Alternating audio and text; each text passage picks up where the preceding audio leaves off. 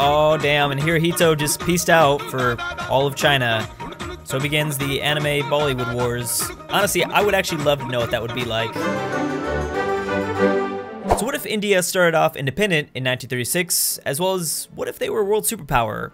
And I don't think this is that far-fetched, uh, kind of. I mean, we've seen China have really good games, so why not this region right here? I mean, considering the amount of territory they have under their control, and obviously they have a shit ton of manpower, usually the best thing we can hope for out of this country is just some civil wars. And obviously I wanted to change that. And of course, you know, I'd assume they'd have some resentment towards European powers. So yeah, I definitely didn't want them to be a democracy. I'm really kind of hoping the Middle East will band together and form that Saadabad Pact, because uh, this new enemy in the East is gonna be kind of tough to stop. But then again, I'm gonna assume that they're on a mission to see all the Bobs and Veganas in the world, so they can invade in pretty much any direction. It's barely been six months, Japan. Come on, already starting shit. Damn, yeah, this is actually way too early. But maybe they're thinking they have a new member for the co-prosperity sphere. That'd be pretty awesome. Well, I, I, don't know. I think attacking over this way for the AI is kind of now off the table. Unless they do actually join a faction. Oh, well that's gonna be really helpful. Didn't even think about this.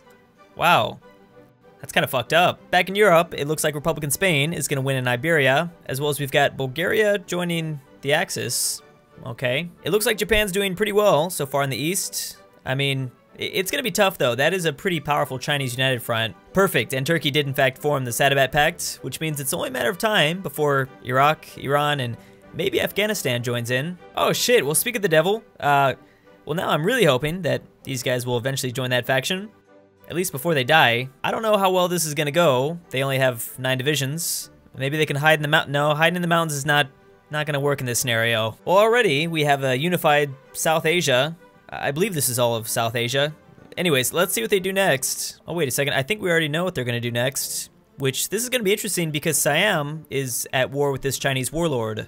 So the question is, will this pull both of them into a faction? Yeah, alright, so Benelux is formed, which we gotta remember the Dutch East Indies are now part of this team, as well as we've got the Polish faction. Okay, so please just do something. Alright, wait a second, what the fuck is going on? You can't, you can't join this team. Well, that's a first. As well as since France also just joined the Allies, they got pulled into this Chinese war. Okay, well I guess they can help support them from Vietnam. And of course, as always, everything is hitting the fan at once. We've got Siam also joining that team, while India joined the Axis. Which we gotta watch out for some of these small territories that the Europeans still control. Oh, nice job, Benito. Real, real dick move there. You know what? I, I don't think I don't think the fascists need you in this campaign. Hitler's got a new friend now. Actually, he's just busting straight through this solo. I don't think he needs any help at all. As well as this fascist Indian dude is putting in work over here. He's about to capitulate Siam, and uh, soon the French territory will be gone. Of course, France is already dead, but I was thinking, you know, whenever Germany declares war on the Soviet Union, I, I completely forgot there's now a new border that the Indians are gonna have to worry about. That may cause some problems, especially if uh, if they're already dealing with two different fronts. Pretty crazy to think it's only early 1939, and the faction map mode already looks like this.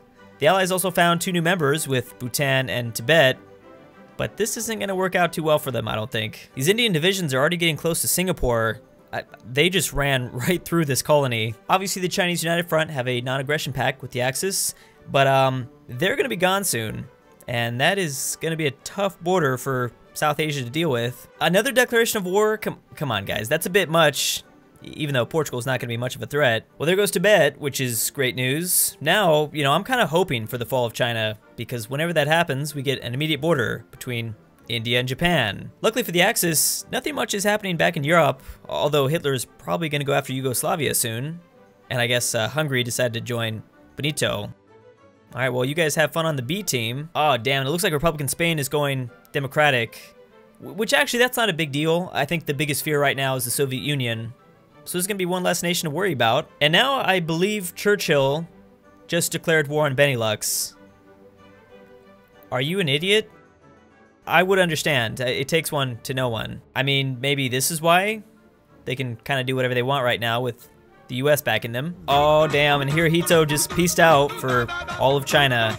So begins the anime Bollywood wars. Honestly, I would actually love to know what that would be like. Things are continuing to get more colorful in this part of Europe. We've got Yugoslavia and Bulgaria forming the Balkan Entente. I guess they can just leave their former faction and Romania joined Italy. I'm definitely loving East Asia right now. This is looking pretty awesome. It's about to be 1940, and this has got to be one of the most unique conflicts we've seen over here. An allied Japan that controls all of China versus an Axis India.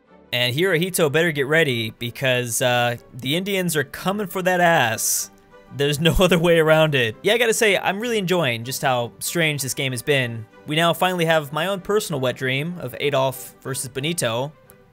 I don't really know how that happened. Oh my god, this is so much worse. We've got a Chilean Axis, a Roman Peru, and Brazil thinks it's part of the fucking Balkans. Yeah, can we get Gandhi out here just to nuke this whole continent? No, but in all seriousness, this is classic Road to 56 for ya. I'm so glad to be back in this mod. Yeah, and India's putting in work over here. I don't know if Japan is just not prepared to fight two big-ass wars. That That's that's likely the problem. I'm not sure if I mentioned this, but we do have the Soviet Union attacking Poland, which means Germany won't be getting any of this land. He's gonna be distracted, of course, by the South. It's also awesome to see the Dutch East Indies actually do something. They're fighting a whole bunch of enemies over here. Oh crap, peace deal. I don't, I don't even know what this is for. Romania, Hungary, Peru, Italy, all taking lands. What the hell? Yugoslavia, Bulgaria. Oh, okay. Balkan Union just died? Or Balkan Entente? Holy crap, that is that is the sexiest Peru we've ever seen. I am impressed. They're fascist. Oh man, they're going democratic though. And Europe is looking really strange. It's actually up to Italy. Italy could maybe take out Hitler here with the help of Czechoslovakia. It's crazy to see these American divisions try to come help support Japan from an invading Indian force. Yeah, the British are even here too. Here's another peace deal for Poland this time. So obviously Stalin took a bunch of things, just puppeted most of it. I guess Italy got some land as well. Okay, well the Nazis have a much, much better grasp over Europe now. They've taken out Czechoslovakia, and I think Italy's up next. This is still going to be a pretty tough situation, though. We've seen Hitler collapse multiple times when he's in this position. Oh man, and the Indian AI have just broken through. Okay, I think it's only a matter of time before the Chinese are dead. I think ultimately what this video is going to come down to is what Stalin does. Does he go to war with the Axis or the Allies? Actually, he could go to war with Romania. That wouldn't be a huge deal, but it it would help both factions. More chaos in South America as Argentina also joins the Axis. So um, I actually think they're going to be doing a little bit better. I don't think Peru's that powerful. And the Soviets have just made their decision. All right, well, this is going to help out everyone except democracies. Yeah, I don't know what else the AI could have done. I mean, who else were they going to join in the first place? I, I guess this was their only option. Finally, we have a peace deal for Italy. 59 states going to Germany, only six going to India. That's kind of weird. And a bunch of people died. No big surprise there. Those are some really, really interesting German borders. Uh, I will say that. Uh, now they just have to focus on the allies and hope that, well, this, yeah, this whole thing works out. Yeah, I'm sure it'll be fine. Can we just take a moment to thank the thousands of Hindi gods from Mexico? Whenever we have to deal with the capitulation of both Canada and the US, it's always the, the drug lords that can come through for us and take out those two nations. So I guess we can expect the next peace deal. I feel like this whole fucking video has just been peace deals, but this will be obviously the biggest one yet. Treaty of Nanning, all right, wow. Obviously a lot of territory was just exchanged. Surprised India only got 31 states. I mean, they still got more than the Soviet Union though. And just look at how many people died or were puppeted.